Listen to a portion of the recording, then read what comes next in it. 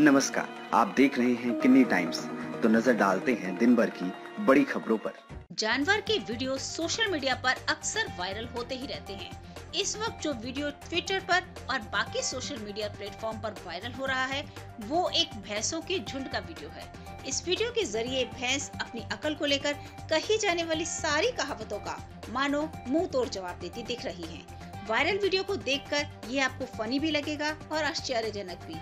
एक झुंड में मौजूद भैंसों को जब प्यास लगती है तो वे किसी का इंतज़ार करने के बजाय अपने दिमाग का ऐसा इस्तेमाल करती हैं कि वहाँ खड़े खड़े आराम से पानी पी लेती हैं ना तो उन्हें किसी से मदद लेने की ज़रूरत पड़ती है और ना ही वो किसी का इंतज़ार करती हैं।